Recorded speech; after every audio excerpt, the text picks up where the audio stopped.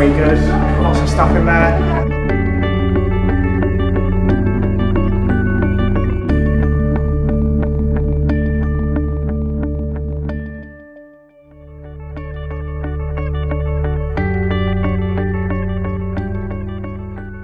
I suppose out of all the schools I've worked in, this is the fifth and this has probably been the best.